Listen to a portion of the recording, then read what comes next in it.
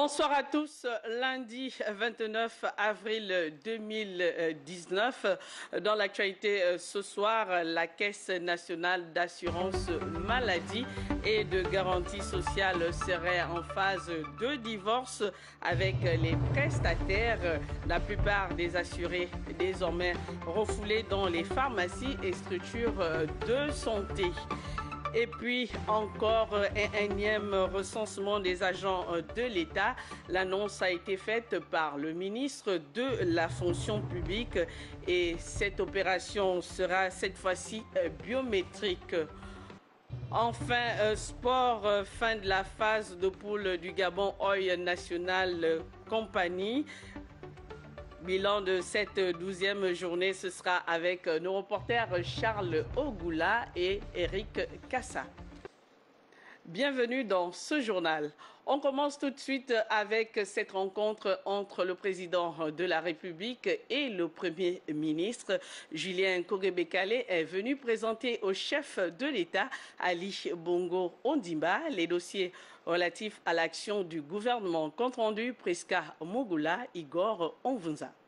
L'entretien entre le président de la République et le Premier ministre a permis aux deux personnalités d'évoquer plusieurs sujets inhérents à la vie socio-économique du Gabon. Julien Kogwe-Bekale est venu faire un bilan de l'action gouvernementale de ces derniers jours. J'ai eu l'honneur d'être reçu par le président de la République ce matin. Je suis venu faire le point et je lui ai également présenté le prochain calendrier du gouvernement. Le président m'a donné un certain nombre d'instructions et de directives pour mettre en place et en œuvre un certain nombre d'actions Les attentes des populations étant au centre des priorités du chef de l'État Ali Bongo Ndimba, l'urgence pour le chef du gouvernement et son équipe est donc à la matérialisation des instructions du numéro 1 gabonais. Et on revient ce soir sur le séjour du ministre des Transports et de la Logistique dans les Émirats arabes unis. Justin Ndoulangoy a saisi cette opportunité pour échanger avec le président du groupe Japour International. Les questions de développement maritime et portuaire du Gabon étaient au cœur de cette séance de travail. Envoyés spéciaux à Dubaï, Cabrel Guillain, Elimami et Médard Engeng.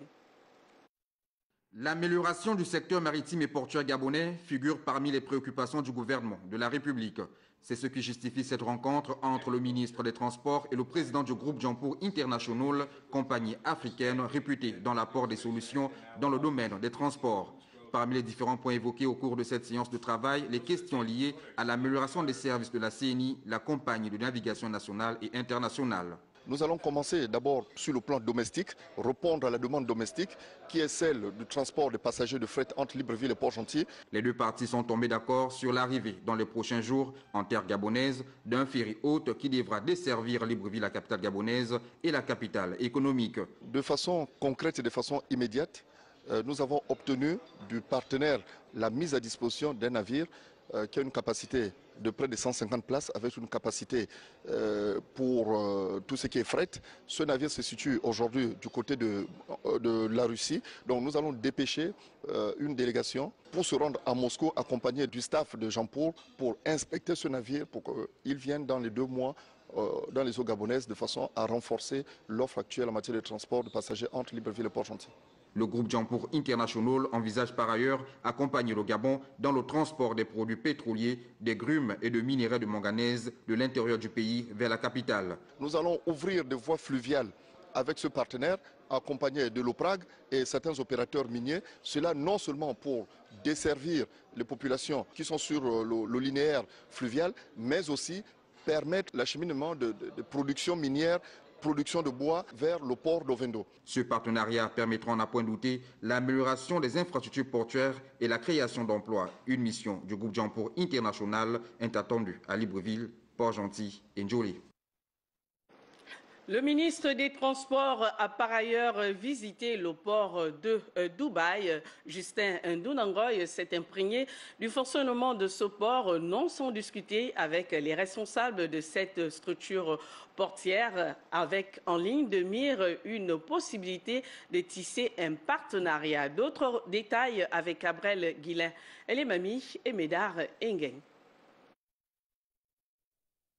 La visite du port de Dubaï, le Dubai Global Ports, par le ministre des Transports et de la Logistique, s'inscrit dans le cadre de la diversification des partenaires économiques.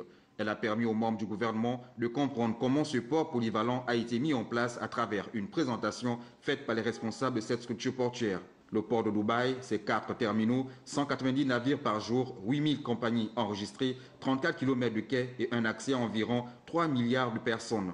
Nous avons pris attache avec, euh, euh, avec le représentant du port et nous allons mettre en contact nos gestionnaires, euh, l'autorité portuaire du Gabon, avec l'autorité portuaire de Dubaï pour voir quelles sont les opportunités que nous pouvons explorer ensemble de façon à développer l'ensemble de nos réseaux portuaires.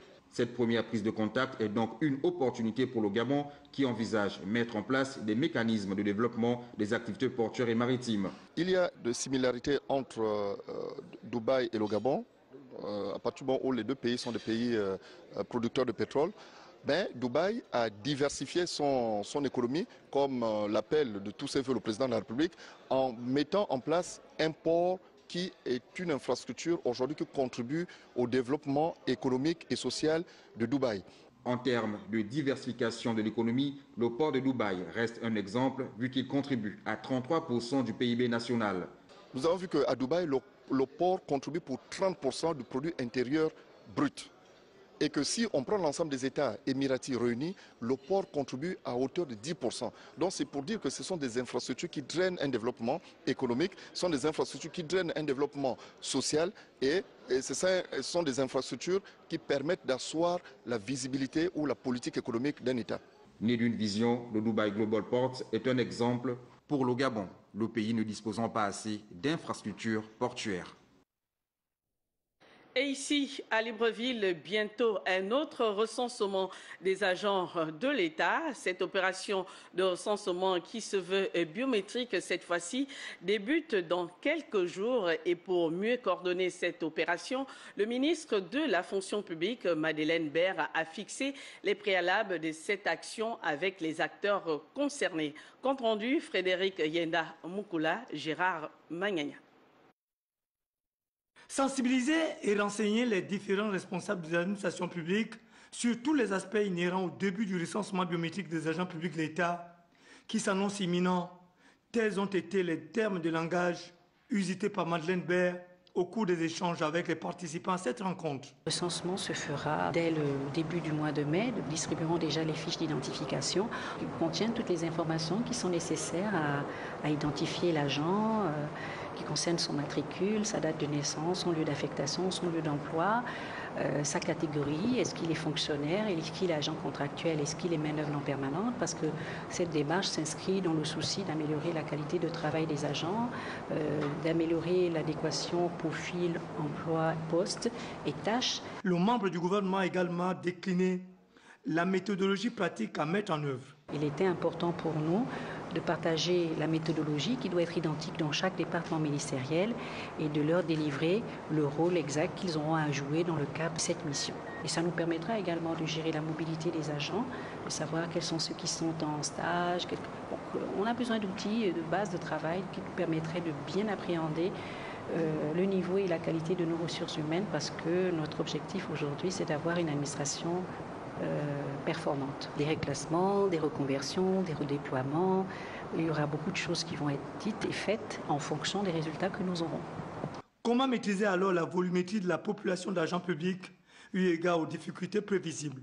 Le recensement biométrique aujourd'hui nous permettra d'être beaucoup plus efficace quant à la gestion des agents et aussi euh, leur présence effective, la détermination des postes, des tâches de travail. L'opération d'enrôlement qui va débuter dans quelques jours nécessitera évidemment l'usage de l'outil biométrique et l'implication des secrétaires généraux et des CRH garant la réussite de celle-ci.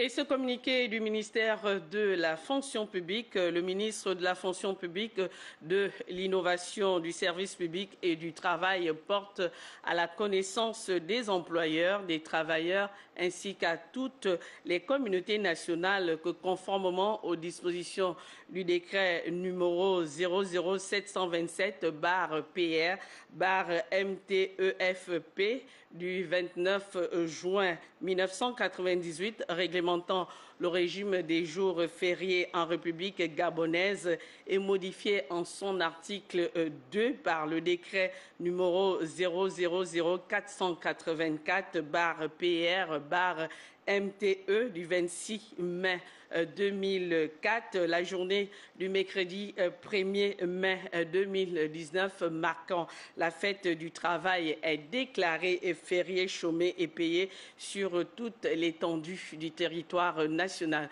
Le communiqué est signé du ministre de la fonction publique Madeleine Baird. La suite du journal, le ministre de la Justice et des Droits humains, Edgar Anissé Mumbo Miyaku, s'est entretenu avec le bureau des syndicats des greffiers du Gabon au menu des échanges, la présentation du bureau et l'établissement d'une carte professionnelle. Compte rendu Stevie Oyan Mesu. Quelques mois après la mise en place du bureau du syndicat des greffiers du Gabon, les membres qui constituent le dit bureau ont tenu à échanger avec le ministre d'État, ministre de la Justice, des Droits humains, garde des Sceaux, Edgar Anissé Mbumbu Miyaku. L'audience avec le garde des Sceaux ce matin a consisté dans un premier temps d'abord à présenter le bureau élu du syndicat des greffiers du Gabon, abrégé SGG, dont l'élection s'est produite le 14 décembre 2018. Et par la même occasion, nous avons profité, n'est-ce pas, de soumettre certains points, à l'instar de la carte professionnelle des greffiers, qui est un souci depuis plusieurs promotions. Nous l'avons donc sollicité dans ce sens afin d'avoir, à titre provisoire, n'est-ce pas, l'élaboration de la carte professionnelle sous réserve des mesures qui avaient déjà prises au préalable par l'administration. L'entrevue s'inscrit dans la vision de maintien du dialogue permanent avec les partenaires sociaux initiés depuis quelques jours par le chef du gouvernement, Julien Koribekali. Au regard des, échanges qui nous ont été faits, il nous a donné le critique comme quoi la porte est ouverte de l'administration. Il reste ouverte à toutes les doléances qui seront prises en qui seront soumises, n'est-ce pas, par le syndicat et qui s'attellent, n'est-ce pas, à, son niveau, à pouvoir donner suite, n'est-ce pas, aux différents éléments au fur et à mesure des, préoccupations qui nous seront soumises. Le syndicat des greffiers du Gabon, qui connaît certaines difficultés liées au fonctionnement de ce secteur d'activité, entend entretenir de bonnes relations avec la tutelle pour l'atteinte des objectifs qu'il s'est assignés. Et pendant ce temps, le procureur de la République était sur le terrain, question de traquer les délinquants tout en contrôlant les pièces d'identité de chacun. Ainsi, Olivier Nzaou était dans les quartiers Okala, Awenje, Akebe, Glace et lui. Plus de précisions avec Césarine Andem et Rodolphe Eyele Mvé. La dépravation des mœurs, la vente de boissons alcoolisées aux mineurs et la prolifération des stupéfiants, une réalité à Libreville. Les nightclubs, snack bars et bars deviennent des antres de la délinquance juvénile. Des sanctuaires où la prostitution et le trafic des stupéfiants sont monnaie courante.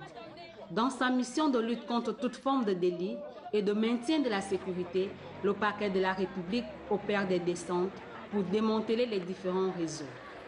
Comme ici dans certains quartiers chauds de Libreville, accompagnés des officiers de police judiciaire, de la Direction générale des recherches et ceux des forces de police nationales, des bars, snack bars et nightclubs ont été perquisitionnés et certains scellés en raison de l'absence des documents afférents à l'activité exercée. Une opération de plus saluée par certains Librevillois. Je respecte monsieur le procureur par rapport à ce qu'il fait sur le bon travail. Il y a des délinquants qui viennent même dans le snack, il a le droit de le faire. Mais le problème est que vous demandez aux gens les documents sur les cartes. Les cartes d'identité, on demande des fois de nous faire des cartes d'identité, parfois dans les commissariats. Maintenant, nous, on arrive dans les commissariats, on dit allez-y à tel endroit, allez-y là-bas. On ne refuse pas ce que vous faites. Faites bon boulot. Mais rendez-nous aussi service de nous faire les papiers facilement aussi. Il faut faire les cartes d'identité à tous les Gabonais. Il n'y a que les récépissés. Les macarons ne sortent jamais. Vu la persistance du phénomène, le procureur de la République, Olivier Nzaou, réitère son engagement à œuvrer pour la préservation des mœurs en République gabonaise. Et ce qui concentre l'actualité sur le social, c'est le refoulement des assurés de la Caisse nationale d'assurance maladie et de garantie sociale dans les pharmacies agréées, une situation consécutive au non-paiement des prestations par l'assureur public. Voici le constat des messagériens Ngo Obam et Marlise Mengue. La non prise en compte observée par la grande partie des patients assurés CNAMGS dans des hôpitaux publics ces derniers temps réduit considérablement le taux de fréquentation des assurés au sein des entités pharmaceutiques agréées. Depuis euh, qu'il y a eu la grève des agents hospitaliers, on a un impact au niveau pharmaceutique. Le, taux de malades venant avec des ordonnances CNAMGS a on va dire, diminué de moitié, pratiquement 50 voire 60%. Hein. donc on peut le ressentir au niveau de nos structures. Mais les patients qui viennent sont servis sans problème. Mais le taux a vraiment beaucoup diminué du fait de cette grève, du fait qu'il n'y ait pas de, prescription que euh, des, des patients qui sont malades. C'est vrai que la situation tend à s'accentuer, à en juger par le nombre sans cesse croissant de l'ensemble des enrôlés économiquement faibles, mais tout de même, à la pharmacie, les forestiers l'ont continué d'enregistrer les ordonnances CNAMGS la majorité de la population est affiliée à la CNAMGS.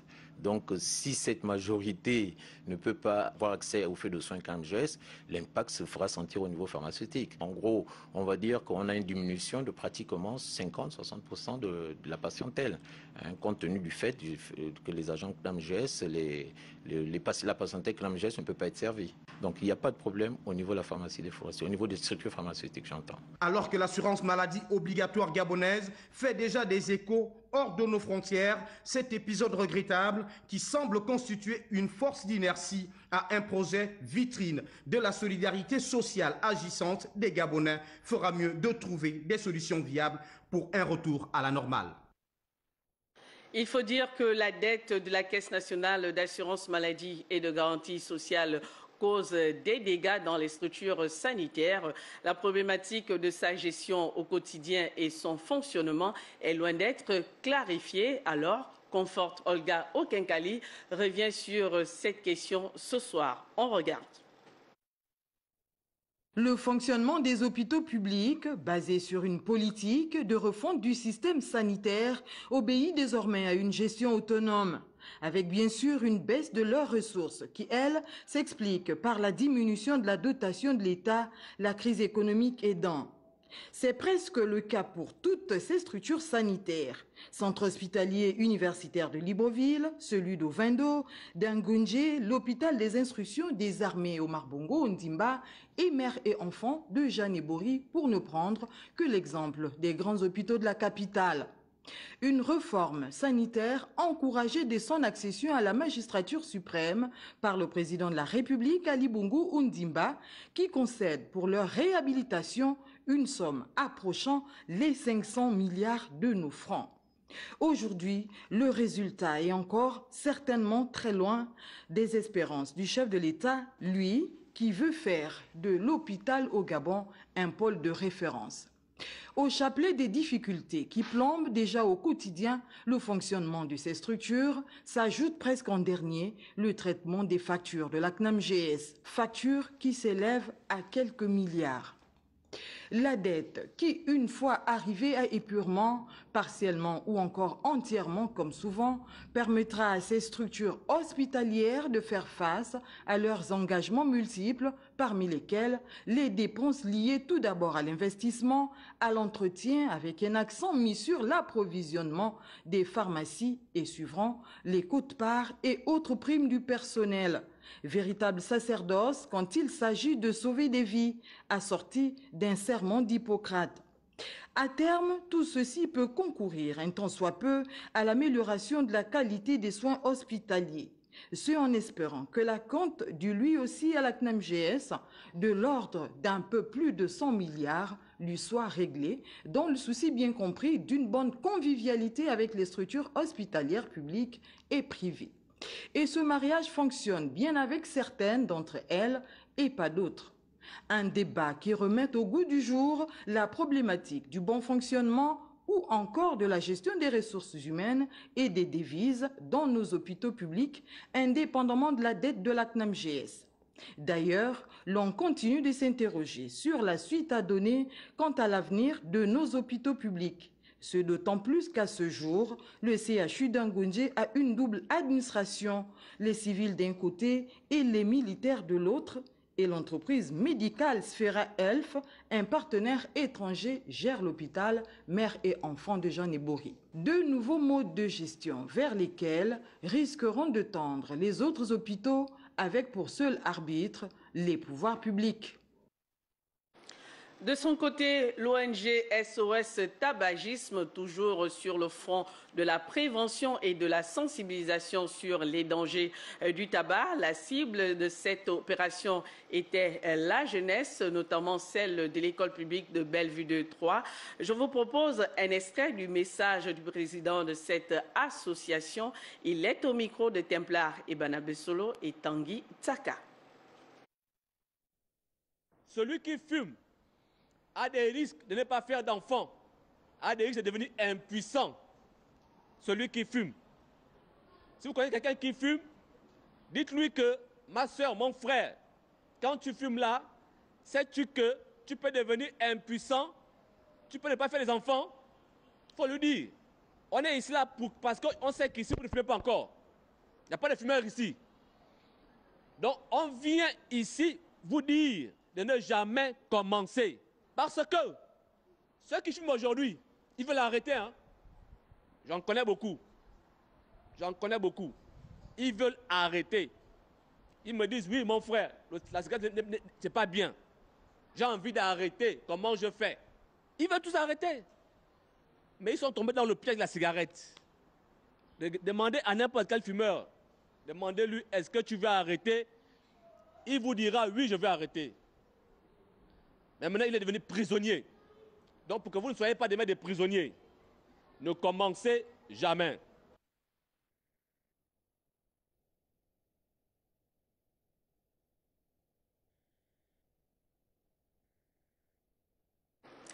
Un autre communiqué dans ce journal, le ministre d'État, le ministre de l'Éducation nationale chargé de la formation civique informe les chefs d'établissement, les organisations syndicales et les associations des parents d'élèves et les coopératives scolaires qu'il lancera le vendredi 3 mai 2019 une vaste concertation sur les modalités de mise en œuvre des réformes et l'examen des problématiques prioritaires dans le secteur euh, de l'éducation.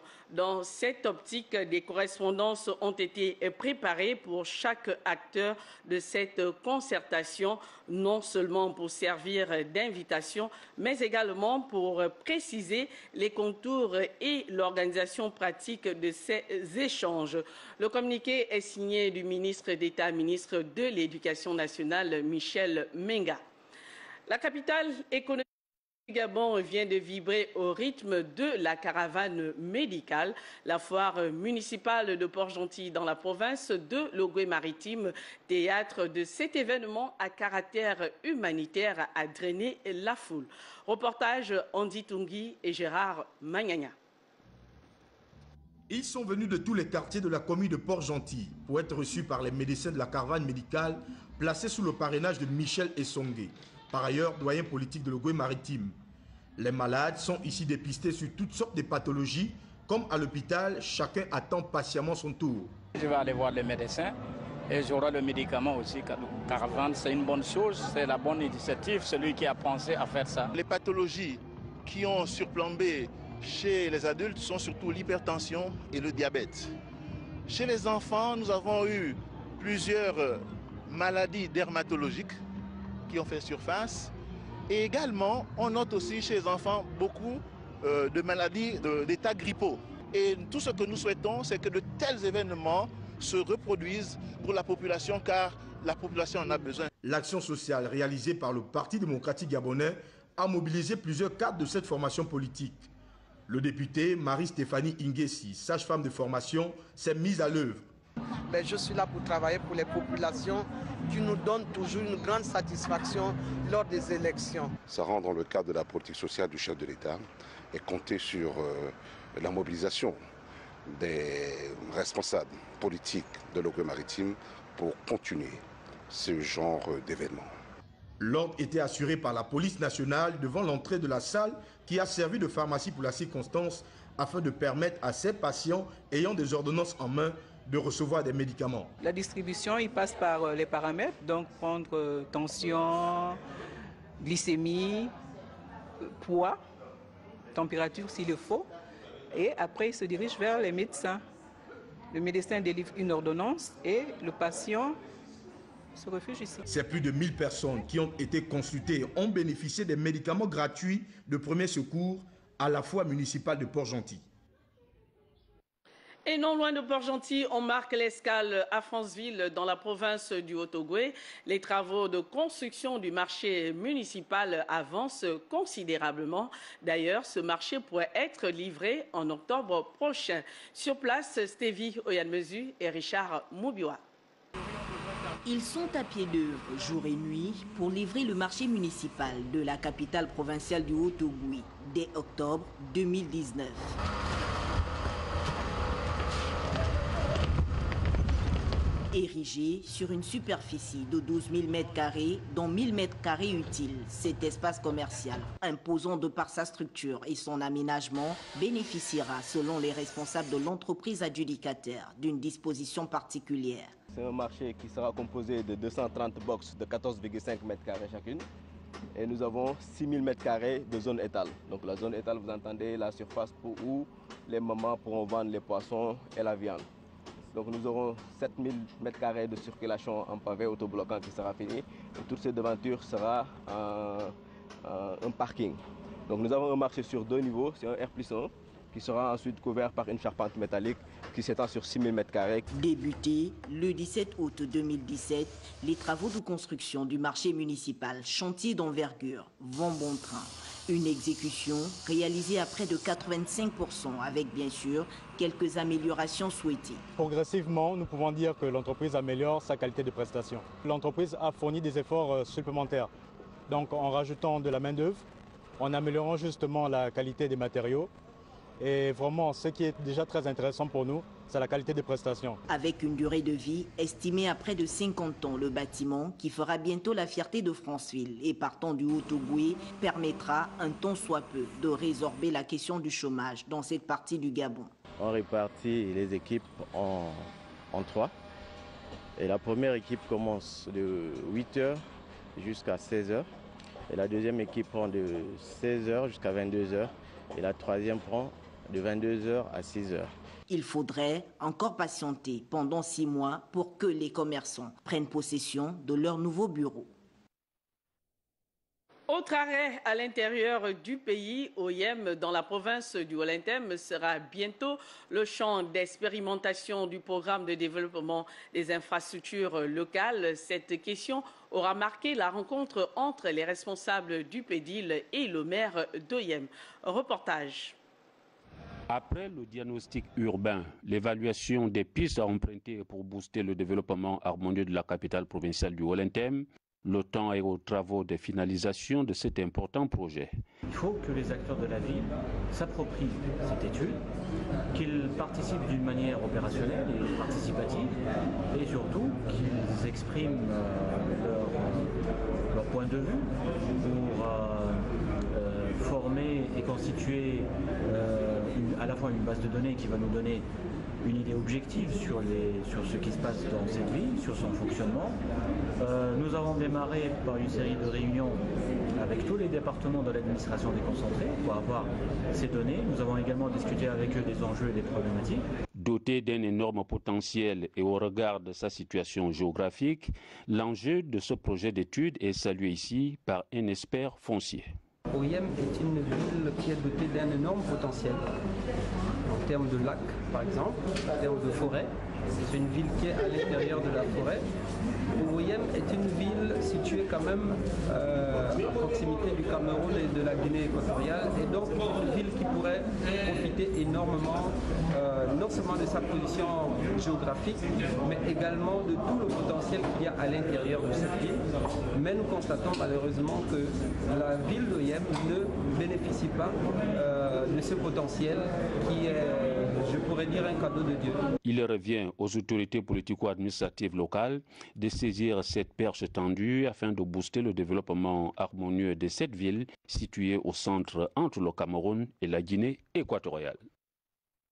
Sport pour la fin, la phase de poule du Gabon Oil National Foot a pris fin le week-end avec la douzième journée. Occasion pour nos reporters Charles Ogoula et Eric Kassa de faire le bilan de cette phase de poule.